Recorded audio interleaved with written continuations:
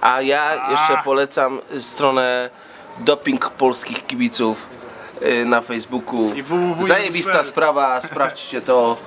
Rafi i... Hongotti, suko.